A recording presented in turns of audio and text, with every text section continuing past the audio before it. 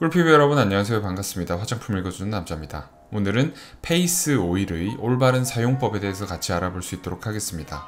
페이스 오일은 특유의 세럼 혹은 앰플과 비슷한 가벼운 제형 때문에 잘못된 순서로 사용을 하시는 경우가 많습니다 예를 들어서 토너나 에센스를 사용하시고 페이스 오일을 점도가 낮으니까 사용하신 뒤에 수분크림과 보습제를 마지막으로 마무리하시는 경우가 있는데 이렇게 순서를 지키지 않으시고 페이스 오일을 사용하시면 페이스 오일의 능력을 극대화할 수 없게 됩니다.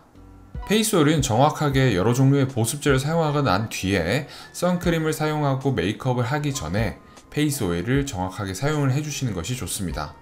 페이스 오일은 보습제 중 오일 함량이 가장 높기로 유명한데 그렇기 때문에 이렇게 순서가 중요하게 된 것입니다.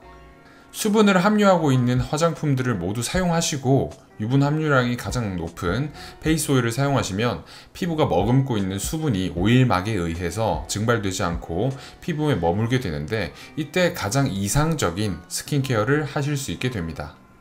피부 타입에 따라 적당량의 페이스 오일을 손이나 얼굴에 바로 덜어서 손으로 가볍게 펼쳐 발라주시면 페이스 오일 사용 단계는 모두 끝이 납니다. 이렇게 오일이 충분히 흡수되면 선크림을 발라서 이제 자외선을 차단해 주시면 되겠죠. 이렇게 페이스 오일 사용법은 그다지 어렵지 않습니다. 페이스 오일 사용의 핵심은 단계, 정확하게 단계를 지켜서 사용을 해주시기 바라겠습니다. 오늘도 여러분의 꿀피부를 응원합니다.